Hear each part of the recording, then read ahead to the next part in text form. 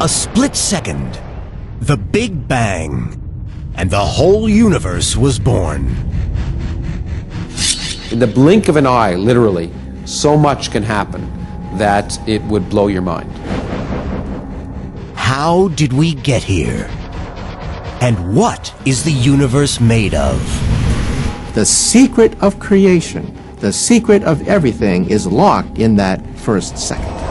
Technology stands on the brink of revealing what happened in the most important second of all time.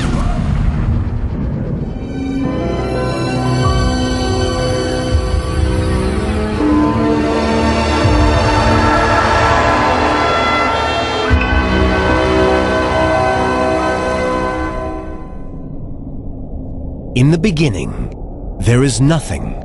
No matter, no energy, not even empty space, because space itself doesn't exist. No time passes, because there's no such thing as time. From nowhere appears a fireball smaller than an atom. 10 trillion trillion times hotter than the core of the sun. Everything that will become the universe explodes from a point millions of times smaller than a pinprick.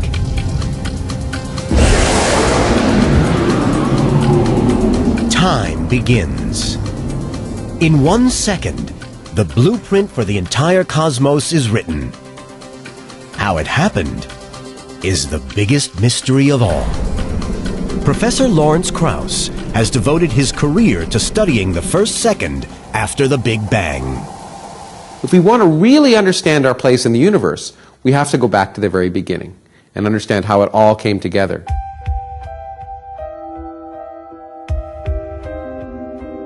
Looking back to the instant of creation is a new idea.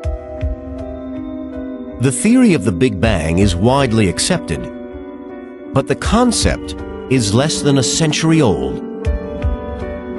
But one of the things we have to put in perspective is, is how recent our understanding of the universe is. 80 years ago, the conventional wisdom in science was that the universe was static and eternal, had been around forever. But this changes in 1929. At California's Mount Wilson Observatory, Edwin Hubble studies the light from galaxies. He observes that the farther the galaxy, the longer the wavelength of light it emits. Light waves stretch the more they travel, and stretching changes their wavelength. The same principle applies to sound waves. As a train approaches, the whistle's pitch rises. When it passes, the pitch lowers. As the train recedes, each sound wave has to travel farther than the last to reach your ear. The sound waves stretch, lowering the pitch. Something similar happens with light waves. If a galaxy is moving away from us, its light waves stretch, becoming longer and redder. It's called red shifting. When we look at visible light, there's red at one end of the spectrum and blue at the other. Red radiation is the long wavelength radiation of visible light, whereas blue radiation is the short wavelengths.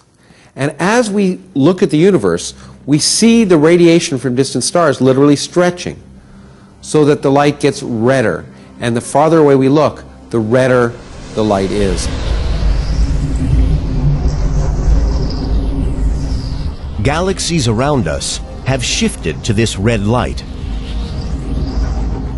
We look out in all directions at distant galaxies, they're all moving away from us. Nearly all galaxies are receding at a million miles an hour. If galaxies are speeding away from each other, at some point, they must have all been together. The universe is expanding outward from a single point. It's the first evidence that the universe had a beginning. Hubble's findings lead to a radical concept. The Big Bang Theory. Scientists believe that in the first second after the Big Bang, the building blocks were created for every star and planet in the cosmos. To prove it, they first need a new way to tell time. We are thinking of fractions of time smaller than we think about in any other area of human activity, and smaller fractions of time than a race car or a sprinter or anything else. And what we've learned is that more can happen in a fraction of a second, in a blink of an eye, than you can imagine. It would just blow your mind. Hours, minutes, and seconds are the basis of modern life. But events after the Big Bang happen in fragments of time far smaller than a second. To analyze what happens, scientists use a new measure of time called Planck time. One Planck time equals 10 to the minus 43 seconds. That's a decimal point, 42 zeros, and then a 1. It's an unimaginably small amount of time. Yet in this first tiny beat of Planck time, something happens that shapes the next 13.7 billion years. Out of the fireball, the four fundamental forces of nature form. Those forces underpin everything around us. Gravity is the reason stars and planets form. It rules the moon and tides and keeps us on the ground. Electromagnetism lights our cities, connects our phones, and runs our computers. And the two nuclear forces, strong and weak, bind the particles that make up our bodies and power the furnace of our sun.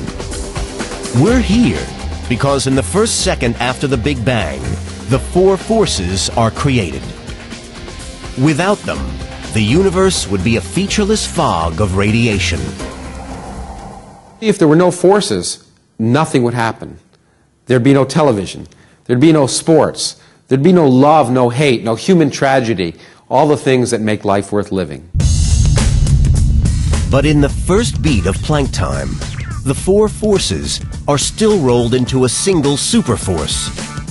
Gravity, nuclear, and electromagnetic forces have not yet divided.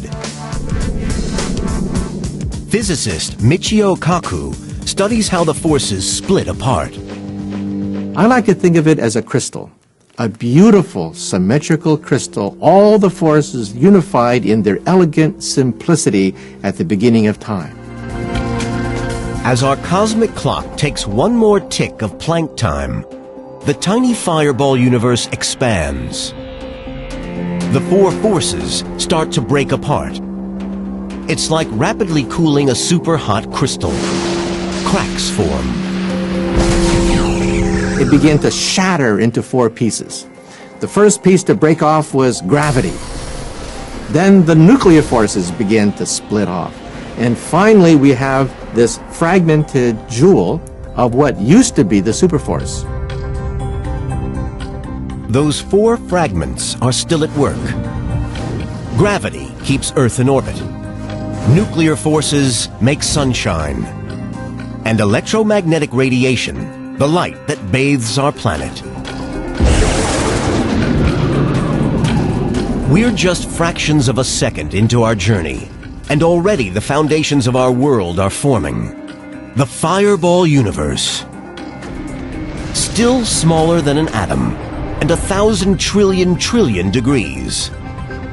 To discover how the universe expands, scientists use telescopes so powerful they can see the past. When astrophysicist David Spergel looks up, he sees history. As we look out in space, we look back in time. Light travels at a finite speed. So the light we see from the sun takes about eight minutes to get here. We see the sun not as it is, but as it was eight minutes ago.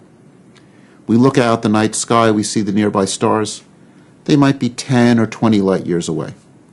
We see them as they were 10 or 20 years ago. The deeper into space we peer, the closer to the Big Bang we see. light from distant stars takes billions of years to reach us. Stretching so much in transit, it turns into radio waves. It takes radio telescopes to see this ancient light. The Horn Antenna Radio Telescope in New Jersey makes a Big Bang discovery completely by accident. In the 1960s, at the Bell Telephone Laboratories, Arno Penzias and Robert Wilson are measuring radio waves from clouds of gas in the Milky Way. But the horn antenna they're using picks up constant interference. It sounds like this, and it's coming from every direction. Everywhere they looked, they saw the same background signal didn't make sense to them. They first thought it was something wrong with their experiment. They cleaned their experiment. They uh, removed the pigeon droppings in their experiment. That was a potential source of problems. They recalibrated their experiment. It was a very careful effort. The strange noise remains. Penzias and Wilson home in on the source. They were able to show that this radiation wasn't something on Earth it wasn't something from our galaxy. It was something coming from deep space. It was everywhere. The radiation hitting their antenna is older and farther than anything ever detected. By chance, they meet scientists at Princeton University looking for the aftershocks of the Big Bang itself. They now realize they are hearing an echo from the dawn of time.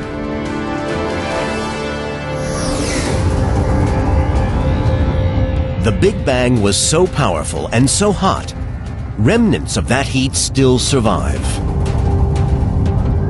The heat began as superhot X-ray radiation. As it stretched and cooled, it became visible light, shifting from blue to red, then becoming microwaves, and finally radio waves. This faint radiation shines down on Earth all the time. It's called Cosmic Microwave Background Radiation, or CMB.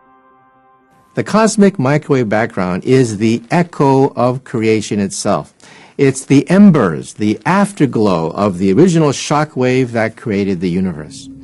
If we had microwave eyes, eyes that could see microwave radiation, then every night we would see the Big Bang coming out looking at the heavens, we would actually see an explosion. More than 13 billion years later, we have a way to see this cosmic glow with the naked eye. You take your TV set, switch it between channels. A couple percent of the static that you see on your TV screen is radiation from the Big Bang. This cosmic radiation is a direct connection to the Big Bang. It also reveals the universe entered a new phase less than a trillionth of a second after its creation. Cosmic radiation is the key to discovering what happens next. A few beats of Planck time tick by on our cosmic clock and the fireball universe is transformed. One instant, the universe is billions of times smaller than an atom. The next, it inflates to the size of a baseball, growing more in this moment than in all the 13.7 billion years to come. Scientists call this rapid expansion inflation. And the evidence survives in the cosmic radiation left over from the Big Bang. Like static on your television, this cosmic radiation seems so constant and so even, it presents scientists with a puzzle.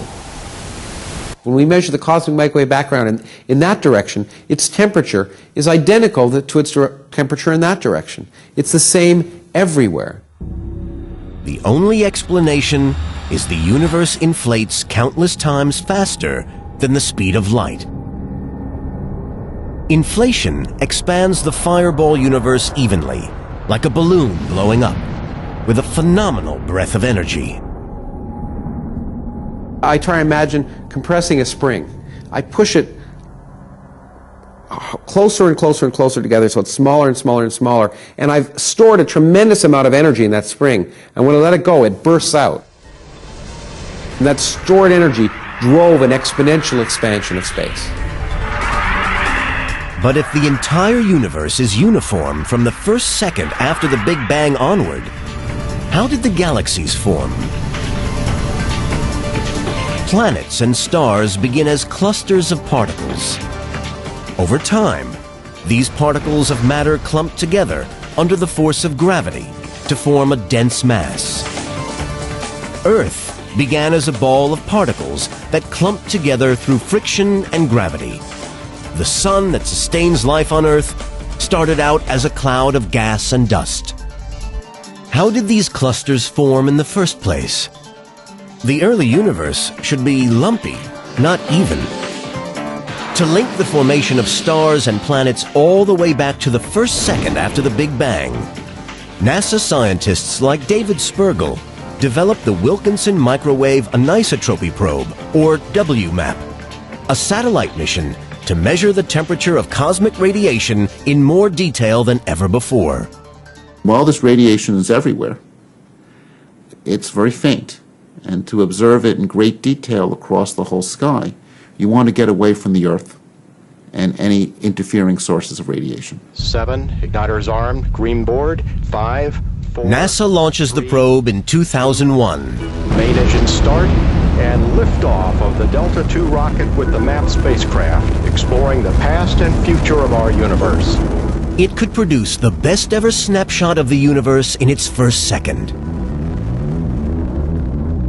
The launch was incredibly exciting, tense, an exciting moment to see it go up and then realize it was working. WMAP sits a million miles from Earth. It's so sensitive it can measure the temperature of cosmic radiation within a millionth of a degree. For five years, WMAP analyzes the sky in minute detail.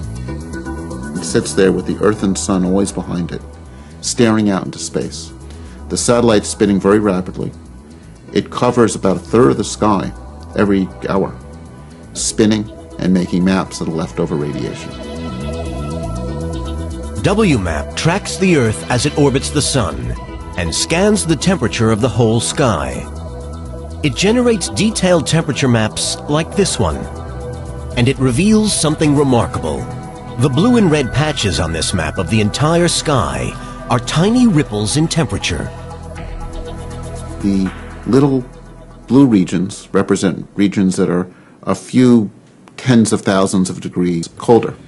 Red regions are a little bit hotter, so you're seeing tiny variations in temperature across the sky. WMAP looks back over 13 billion years.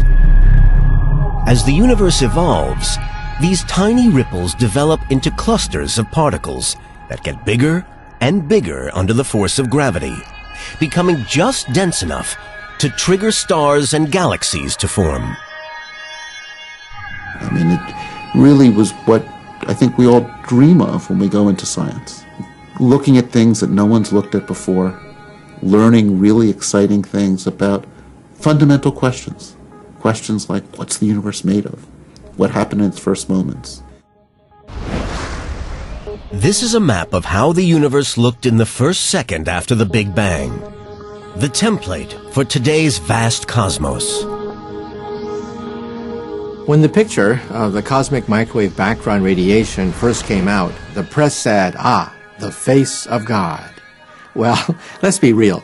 It's not the face of God. What it really is, is a, a baby picture, a baby picture of the infant universe. So the discovery of the cosmic microwave background radiation ranks as one of the greatest discoveries in all of science.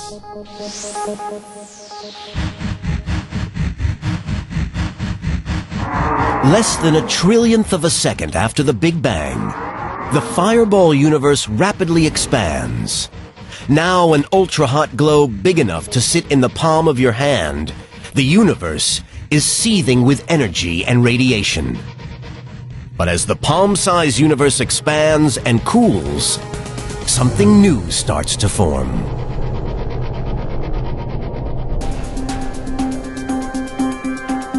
Only a fraction of a second after the Big Bang, and the destiny of the universe is already mapped out.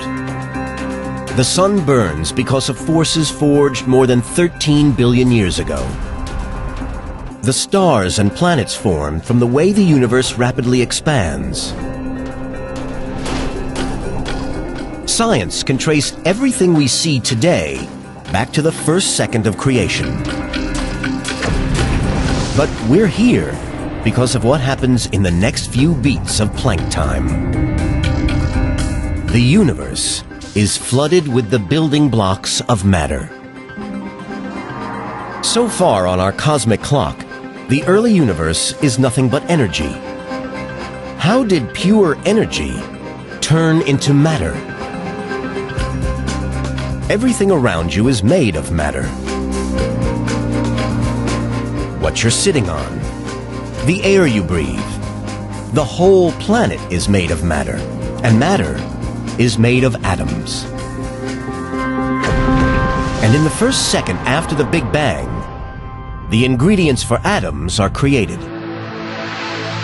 How matter appeared mystified scientists until 1905 when Albert Einstein comes up with our most famous equation.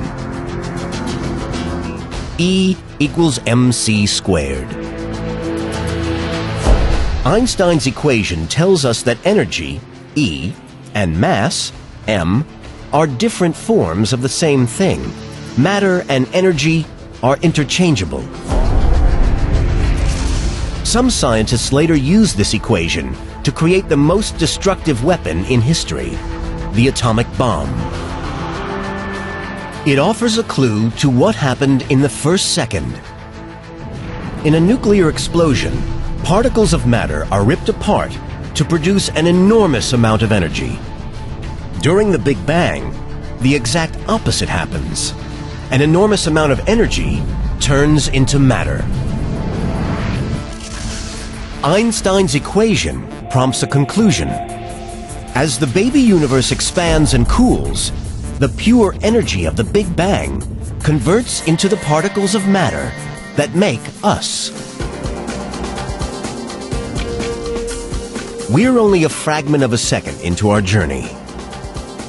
The first particles of matter appear, the universe is a million times hotter than at the core of the sun, still far too hot for particles of matter to bond and form atoms. Scientists face a puzzle. What is this early state of matter like? And how does it become the protons and neutrons that form every atom in the universe? Atoms were impossible. Think of putting an ice cube in a steam bath. The ice cube would melt immediately. You cannot have ice cubes in a steam bath. You can see the proof in a block of ice. When water is cold enough, it's a solid. Warm it, and you get a liquid. Heat liquid water, and it boils away into a gas, water vapor. Superheat the gas, and the energy pumped in rips the atoms apart. Likewise, the universe in the first second is so hot only the building blocks of atoms can exist. If you were to journey into the early seconds of the universe, literally you would disintegrate. You would literally fall apart, and even the debris, the, the nuclei of your bodies, they too would fly apart into subatomic particles. There would be nothing left of your body.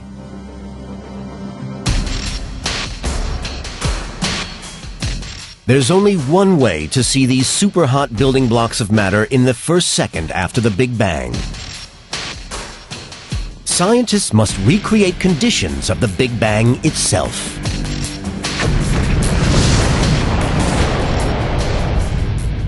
The inside of a star is measured in tens of millions of degrees, but the Big Bang was measured in trillions upon trillions of degrees. So we have no way to simulate the instant of creation other than with a particle accelerator. by slamming protons into other protons, we can create temperatures not seen since the beginning of the universe itself. So particle accelerators are the only game in town when you talk about simulating Genesis.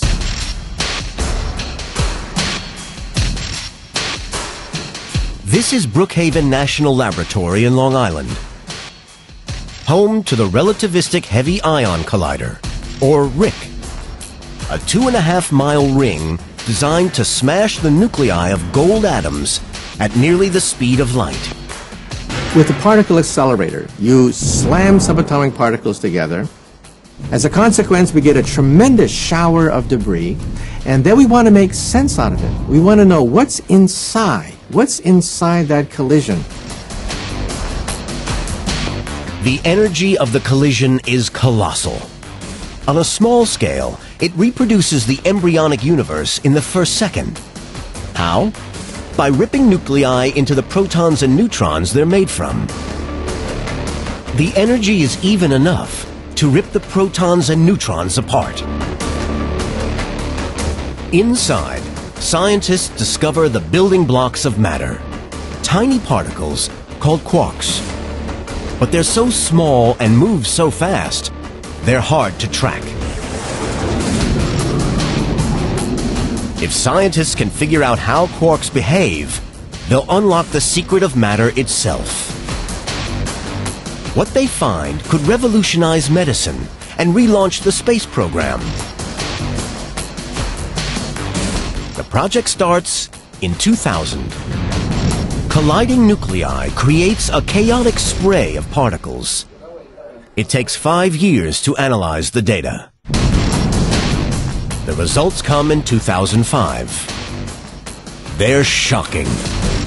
We were expecting to find a gas when we slammed gold nuclei into each other. So the shock was it wasn't a gas at all. We found that it's more like a liquid. So this came quite a shock because now when we begin to simulate the early universe, we have to get rid of this mental picture of a gas of subatomic particles. Now we know it's more like a liquid literally like a soup. When matter first appears in the universe, the quarks are so dense and so energized that the entire universe is like a liquid. The universe went from a glowing ball of energy to quark soup in less than a blink of an eye. The liquid universe is hot, dense, and violent. flooded with tiny particles in constant vigorous interaction. As our cosmic clock reaches a millionth of a second, the universe continues to expand and cool.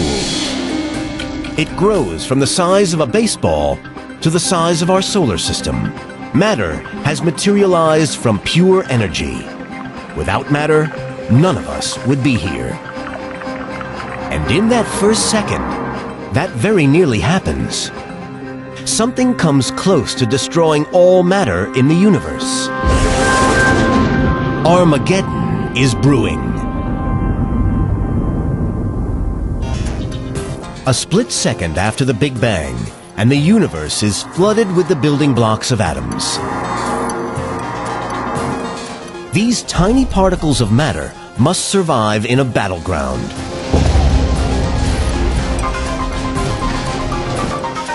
Everything around us is made of matter formed from the energy released by the Big Bang.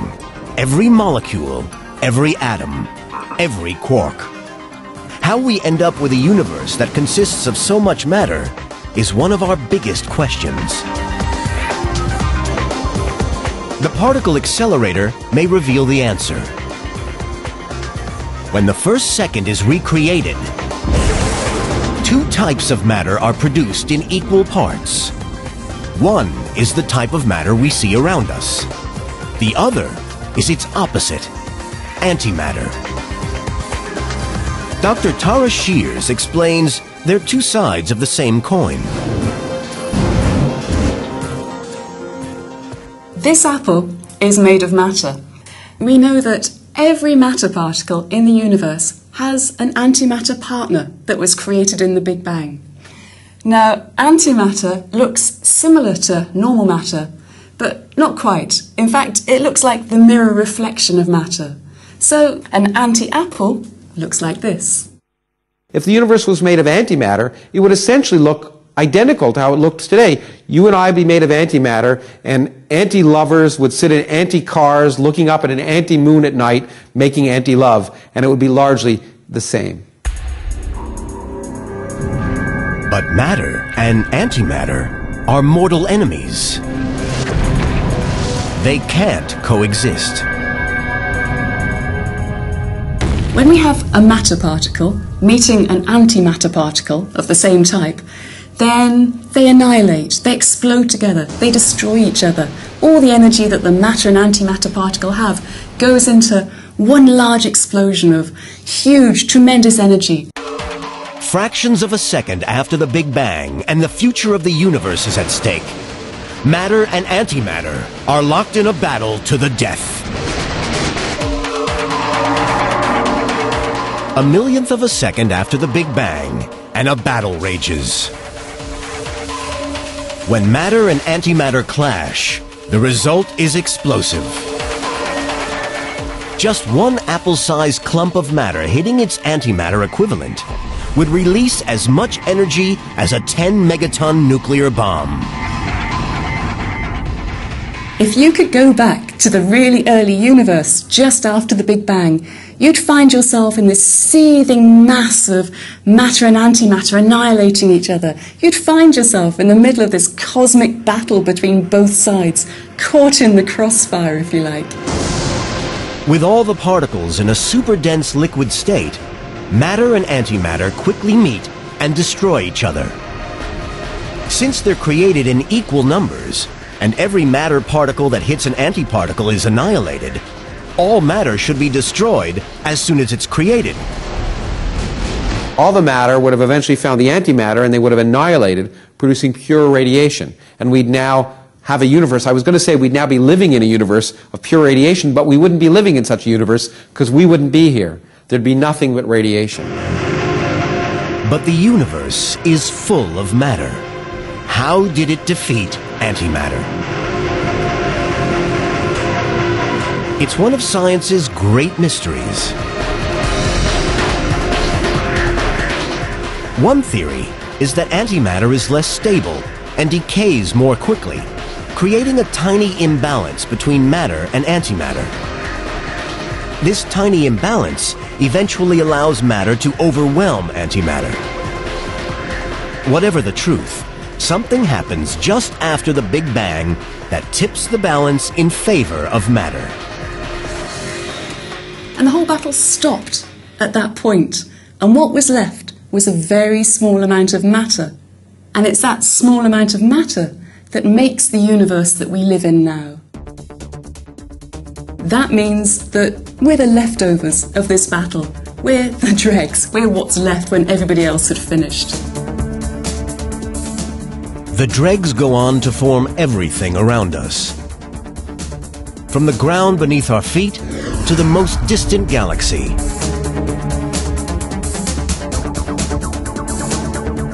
As the cosmic clock nears the end of the first second, nature's four forces have split off from the single superforce.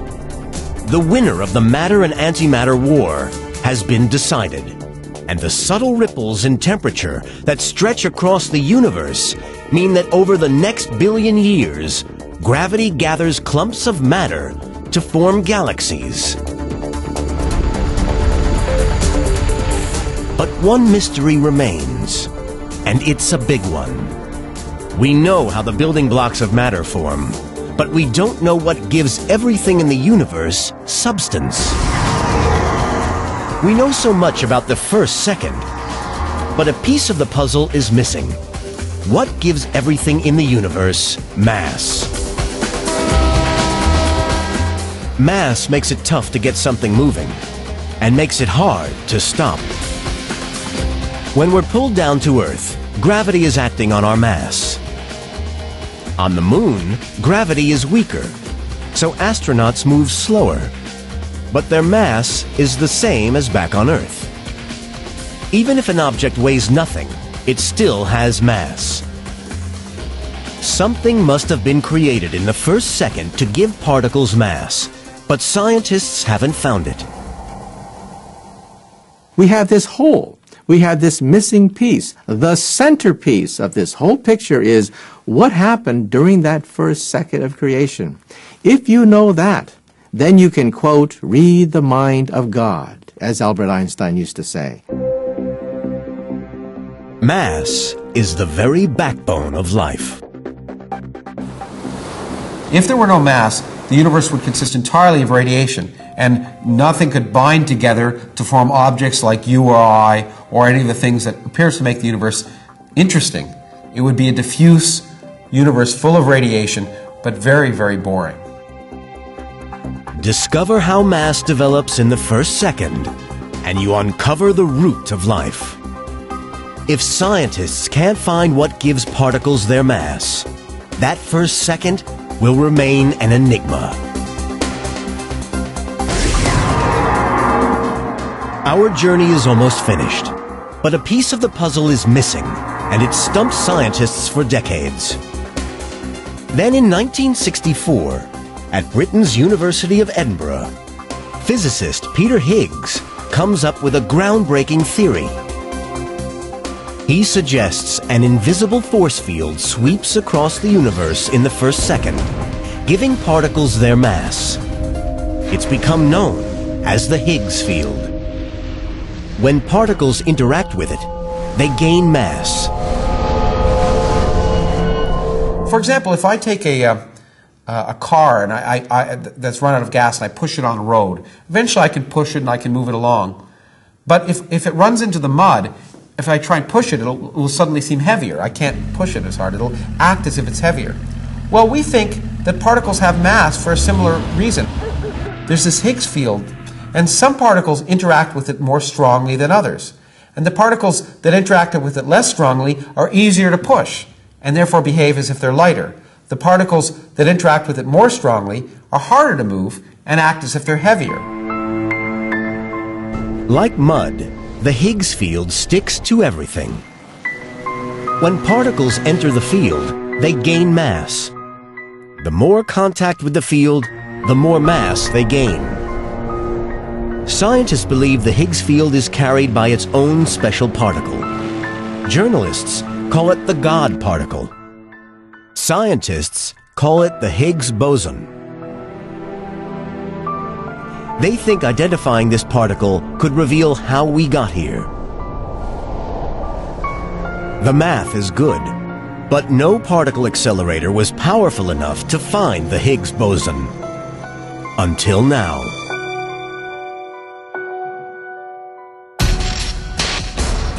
Deep beneath the countryside in Geneva, Switzerland, is mankind's most expensive experiment. The Large Hadron Collider, or LHC. The world's biggest particle accelerator and the best shot at finding the missing Higgs.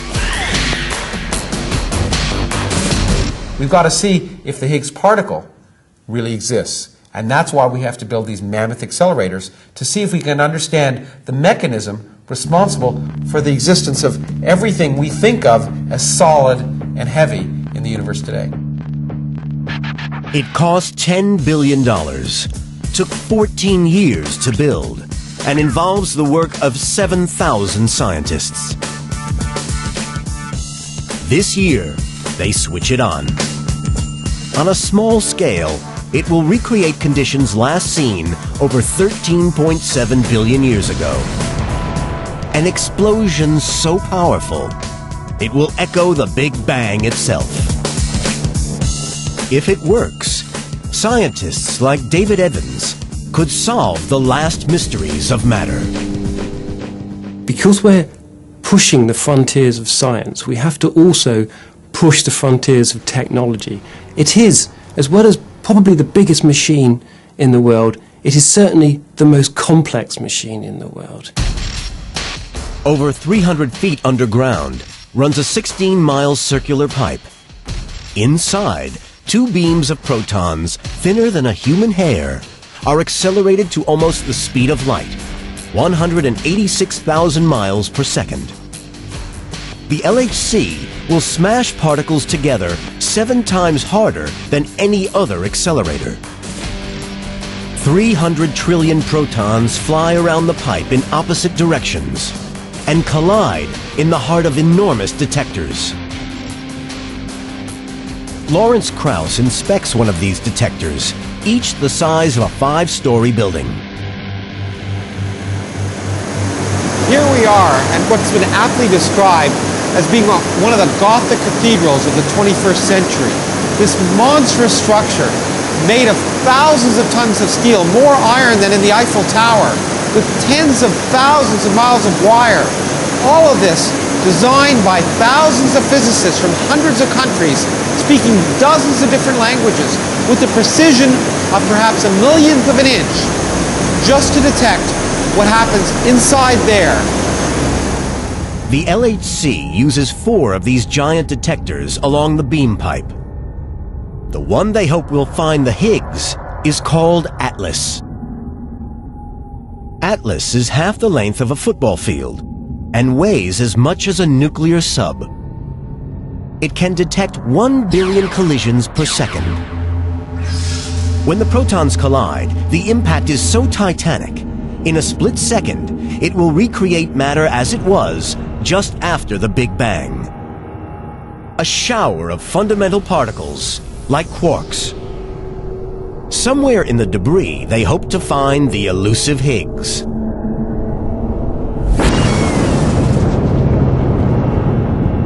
But finding one particle in this firestorm is like finding a speck of gold on a beach.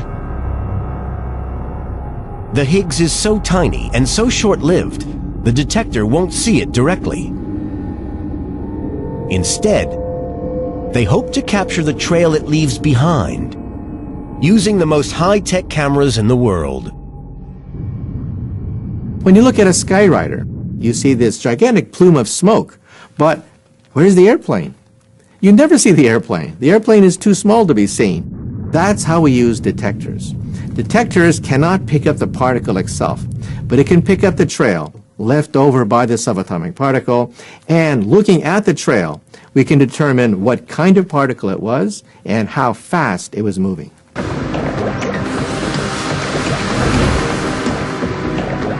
The LHC will generate more data than any other instrument on the planet. In a single second, the amount of information that's coming out of the collisions at the LHC that will be handled by these detectors is greater than the amount of information in all the libraries in all the countries in the world. We will produce something like 15 million gigabytes of data every year. If we wrote that data onto CDs, every year we would produce a stack of CDs about 10 miles, 12 miles high. That data may hold the secret of mass, the missing piece in the universe's first second, and the doorway to the science of the future. To process all this information, the LHC uses the world's largest network of supercomputers. Even so, the search may take years to complete, but it's worth the wait. The ultimate thrill working in this field is to know that you come up with a piece of eternal truth. If you discover something elemental about our universe, it's there forever. And it's there not just forever in time, but forever in space. This experiment could finally unravel the simple truth at the basis of our existence. It's a prospect that's exciting scientists everywhere. We don't know yet what the LHC will do. We have great hopes for it. I mean, it's going to higher energies, smaller scales. It's going where we haven't gone before. What we will learn in the LHC will change the way we think about the first second of the Big Bang. All of our indirect evidence tells us we're likely to discover the answer to this question. We're not guaranteed to, but it's the first time we feel we really are about to get a handle and maybe make this fundamental discovery. If, when we turn the LHC on, we find any insight into these unanswered questions, for us it would be fantastic to find some extension of our knowledge about the universe, to understand more about it. Well, for every physicist, that's a kind of holy grail. In the LHC control room, the biggest experiment in the history of science counts down. The accelerator is checked, sealed, and cooled to temperatures lower than those of outer space. The LHC has been designed, it's been built, and now the final tests to get it working are going on right here, right now. And what you can see here are the headlines of the test, the status, and what the physicists around us are looking at in detail on their screens is what's really going on. This machine could answer one of life's greatest mysteries. It's like being present at the creation. If we were to discover the Higgs particle, it would be a remarkable discovery because we'd begin to understand one of the most fundamental, outstanding questions why are we here and why do particles have mass?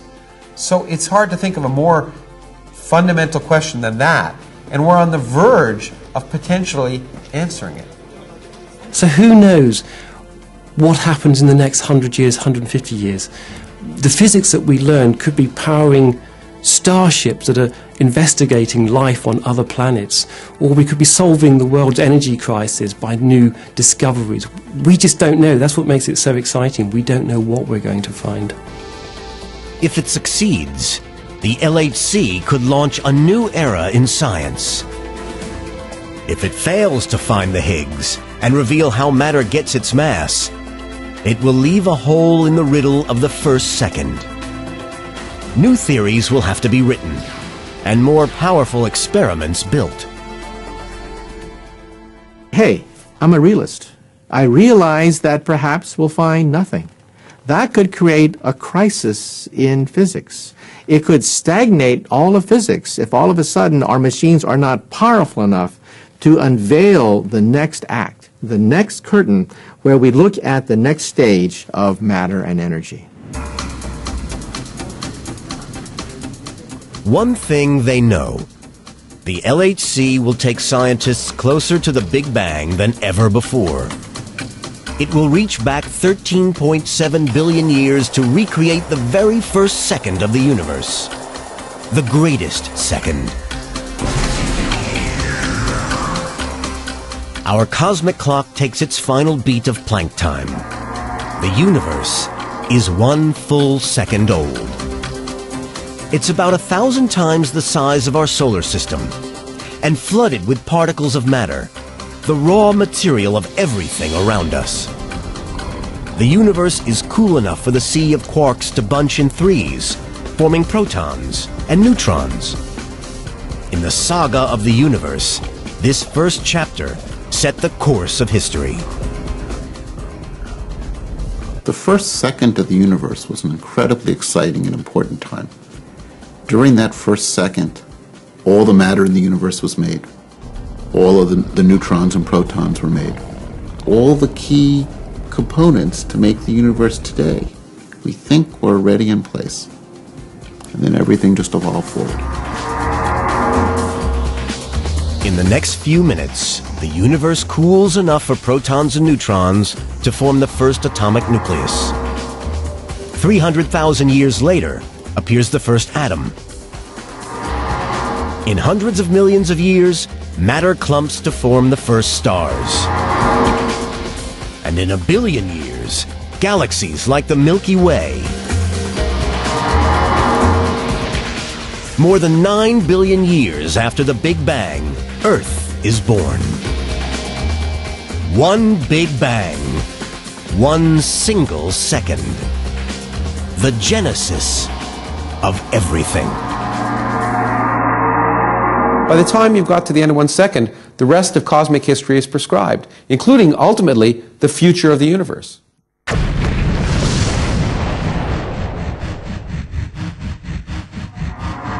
More than 12 billion years after the Big Bang, humans evolve. A species with the intellect to ask, how did we get here? And what is the universe made of? This year, science moves closer to discovering the answer. And the secret will lie in the first epic second.